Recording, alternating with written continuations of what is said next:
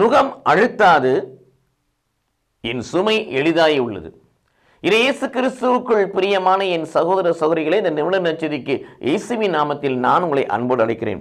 என் நுகம் அழுத்தாது என் சுமை எளிதாய் உள்ளது. இது இயேசு கிறிஸ்துவுக்குள் பிரியமான சகோதர சகோதரி எதை நுகம் என்று சொல்லுகிறார்? பழைய ஏற்பாட்டிலே காணப்பட்ட சடங்குகள் சட்டங்கள் சமுதாயத்தின் பாரம்பரியங்கள் மனிதர்களை அழுத்தியது. அது அவர்கள் கழுத்தை அழுத்தும்படியான பெரிய நுகத்தடியாக இருந்தது. தாங்க முடியாத சொல்லணும்னா பெருமூச்சு விடுவர்களாய் மனிதர்கள் மாறினார்கள்.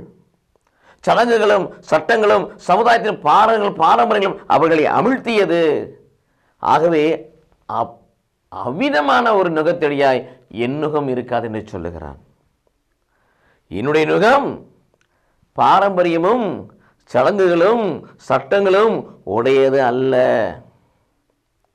இது இயேசு கிறிஸ்துவுக்குள் பிரியமானவர்களே இவை இல்லாத ஒரு நிலைதான். ஆவியிலும் உண்மையிலும் கடவுளை தொழுகின்ற எந்த விதமான நிர்பந்தங்கள் இல்லாமல் எந்த விதமான சடங்குகள் இல்லாமல் எந்த வித ஆச்சாரங்கள் இல்லாமல் எந்த விதமான சமுதாய பாரம்பரியங்கள் இல்லாமல் இவற்றையெல்லாம் தவிர்த்து கடவுளை ஆவிலும் உண்மையிலும் தொழுகின்ற நுகத்தை நான் உங்கள் மேல் வைக்கிறேன் சொல்லுகிறார். ஆகவே இந்த நுகம் உங்களை அழுத்தாது. இரண்டாவது என்ன சொல்கிறார் என் சுமை எளிதாய் உள்ளது. நான் ஒரு பெரிய சுமையை உங்களுக்கு வைப்பேன் நானே உங்களை சுமை சுமந்து சோர்ந்திருப்பவர்களே என்னிடத்தில் வாருங்கள் என்று சொல்லுகிறேன் இலைப்பாளர் கொடுக்கிறேன் சொல்கிறேன் அப்படிப்பட்ட நான் எப்- எதற்கு நான் உங்களுக்கு சுமையை உண்மை வைப்பேன்? நான் உங்கள் மீது எந்த சுமையும் வைப்பதில்லை. அப்படி ஒரு சுமை நான் வைக்கின்ற சுமை உங்கள் மேல் இருக்கும் என்று சொன்னால் அது மிகவும் எளிதாய் இலகுவாய் இருக்கும் என்று சொல்கிறார் அப்ப சுமை என்பது என்ன? இங்கே கடவுள் கொடுக்கிற சுமை என்பது படிப்பினை வார்த்தையிலிருந்து உருவாக்கப்படுகிற இறைவனுடைய கட்டளையிலிருந்து உருவாக்கப்படுகிற படிப்பினைகளைத்தான் அவர் சுமை என்று சொல்லுகிறார்.